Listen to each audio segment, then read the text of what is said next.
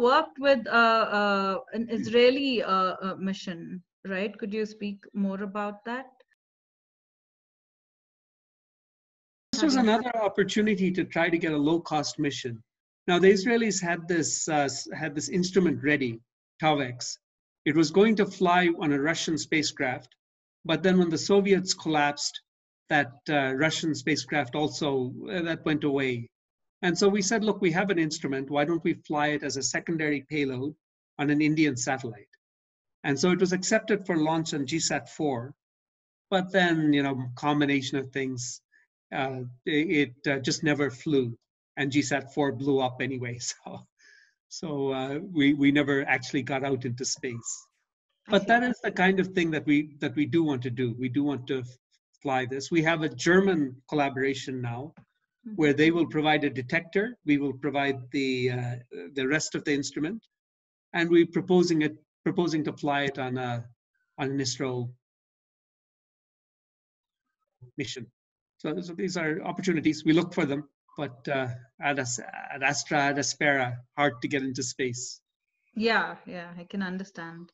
Um, so, uh, uh, Sudesh asks, uh, can you please elaborate on the applications of studying interstellar dust? Okay, I don't know what applicate what you mean by applications, because many times when people say applications, they they're asking how will it help us uh, build a better car or build a better telephone. So it has no applications per se. What we're doing is truly blue sky research. We're just we want to learn more about the interstellar dust why do we want to learn about the interstellar dust? Well, because it's there. It's there. We want to learn about our universe. And so we have to learn more about it. I see. and this is the way that science works, really. And people say, uh, if you talk to politicians, they want you to study only directed things. How do you uh, how do you have a cure for COVID nineteen? But that's not the way science works science you science advances in all areas. You have a broad base and once you have that broad scientific base then you get people who who solve specific applications.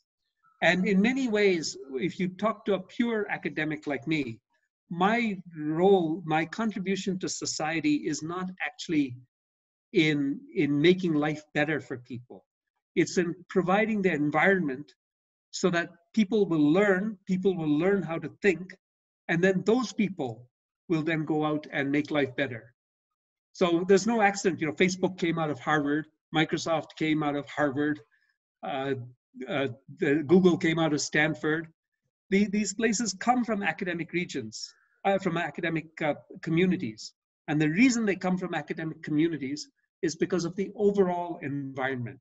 And that perhaps is what you're trying to do with STEMnet also yeah that that is a good point. And and uh, thanks for highlighting that because often uh, uh, you know uh, yeah like you said people think about immediate applications and what use is it going to be.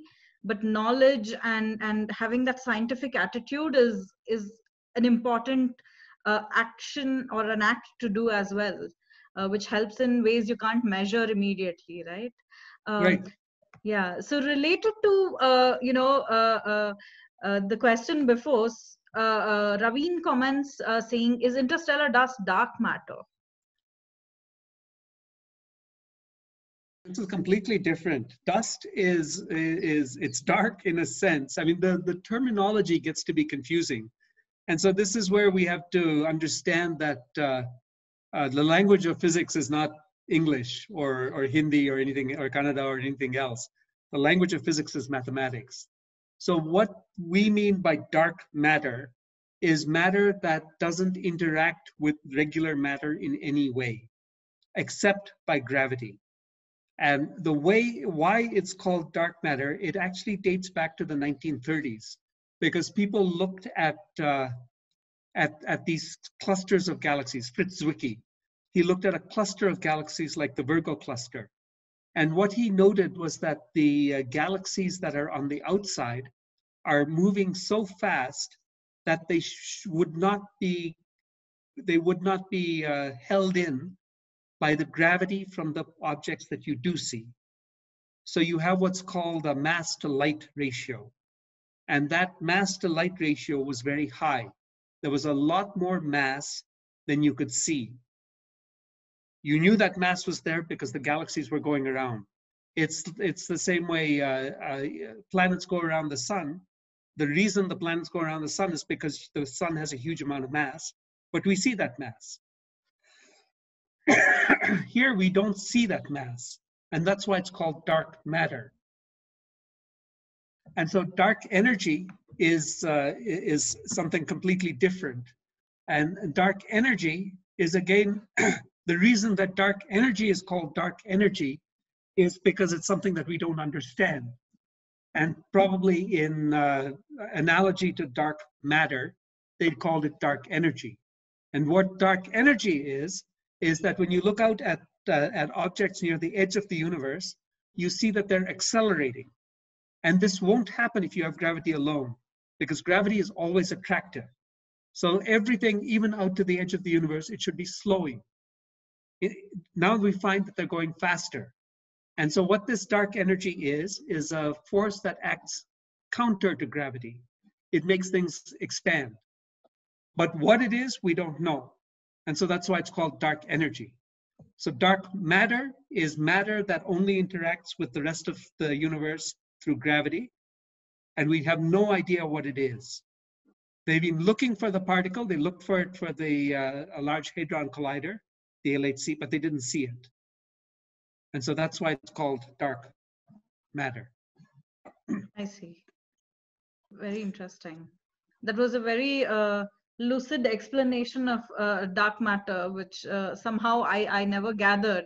It's always this mystery thing that, you know, uh, that uh, goes around and everybody's fascinated by it, but uh, we don't really understand what it is not, right? Um, Shashank asks, what exactly is singularity in space? Is it the end of a black hole? What is white hole and how was it formed?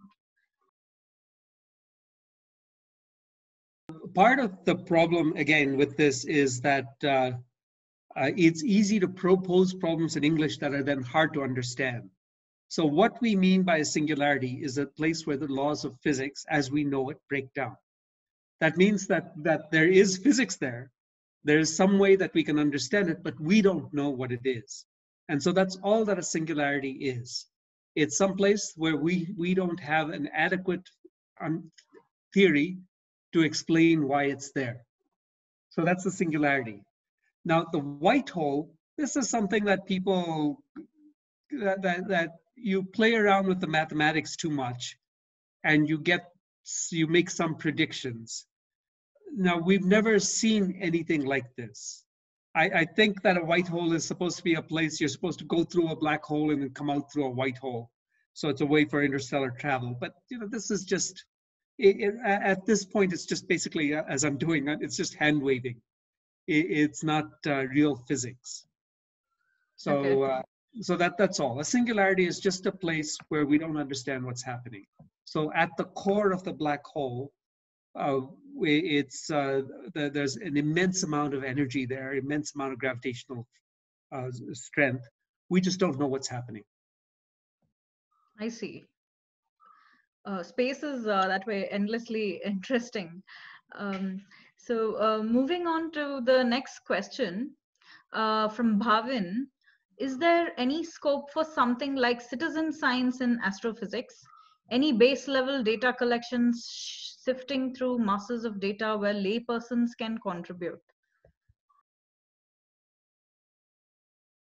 an enormous amount and and again it's not just in astronomy but also now that uh, many fields have become data driven there's an enormous scope for citizen science in in many areas you may have know about this protein folding project where uh, people try to, uh, to see what the configuration of a protein is. It turns out that it's hard for computers to do, but relatively easy for people to do. And uh, in astronomy, there have been several opportunities. The oldest of this was this uh, SETI at home, which just recently closed down. Uh, there have been other ones that are uh, uh, th things like uh, this Kepler uh, what's it called? Uh, planethunters.org. There's um, Galaxy Zoo. So these are ways in which you can you can go there, and what they want you to do is to uh, uh, look for planet hunters, for instance. They want you to search for planets in Kepler data, because the automated algorithms they will find planets that you know exist. But if you're looking for unusual planets, then that's uh, uh, that that you need people to look at. Uh, so there are there are those kinds of ways of doing it. There are also, as I as I said earlier, all astronomy data is now available. Not all, but 90% of astronomy data is available. Programs are available for free. Uh, you can read the latest research for free. So everything is available, and so uh, people can can do research at more or uh, more or in more or less uh, depth, depending on their interests, depending on the amount of time they have available, depending on the guidance. So right now I'm guiding uh, two high school students and a few university students, where uh, they're they're looking for uh, uh, looking just looking at data. The constraining factor here is my own time and so uh, uh, there, there, there's uh, just there, there, there's there's other projects uh, going on. Anand Hota, for instance, H-O-T-A, he is at uh, this um, uh, Mumbai University. They, he, he's doing some citizen science project. So yes, there are citizen science projects in astronomy. It's a matter of looking for it and a matter of writing to people even even if uh, they're not formal citizen science projects, people do have projects available. And so it's just a question of writing to people and and seeing if uh, if you can do something. Uh, and and there are the the more uh, uh, organized activities like planethunters.org. The advantage of those is that you go in right away and you do something. The disadvantage is that it's very organized so you do you you work in that little box. You don't go out of the box. It all depends on on what what your time available, what your interest is. Well, uh, many many opportunities. So uh, related to that, Kunal is asking, you know, where can he uh, go and uh, approach an interdisciplinary group to do ML work for uh, in astronomy? Like a beginner to get into? Where can you go and get a, which group can you approach or what can you do? Yeah, we have uh, one group uh, with uh, Professor Saha at uh, BITS Goa. So we're working on on this uh, inter interdisciplinary group. Uh, I, I, think in BITS Goa in general, they're doing a fair bit of this interdisciplinary work. But otherwise, it's just a matter of looking. I, I the, the, it's still in its infancy. I had hoped that we could we could seed a bigger group, but that just hasn't happened. I see. Um, and a question from uh, Moinak. Um, I recently heard that Chinese astronomers are planning to launch three artificial satellites, their own moons, so as to solve the electricity problems. How is that possible? And as far as I know, there should be many problems with respect to that. No, I'm sorry, I haven't uh, seen anything about it. And I don't believe that you can solve an electricity problem by going out into space. I know that there have been people talking about reflecting solar power down to uh, solar installations, but I don't believe any of those will be cost effective. Oh, so, no, I, I don't know. Okay. The Chinese do have a very active space program, and they are doing many nice things. 20 years ago, I would have said that ISRO is uh, miles ahead of them. Now the Chinese, they're, they're so far ahead of us. It's, uh, it, it's truly impressive what they've done.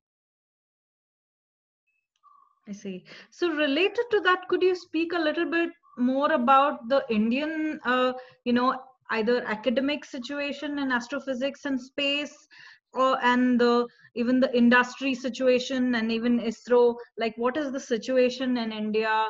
Um, how are the entities collaborating? Is the uh, private space industry going off by itself? Is isro participating and you know kind of collaborating with uh, you know uh, private industry? And are they collaborating with uh, you know astronomer i mean uh, astro- astrophysicists and astronomers and uh, you know space scientists. Uh, could you comment about the Indian scenario in space tech and astronomy?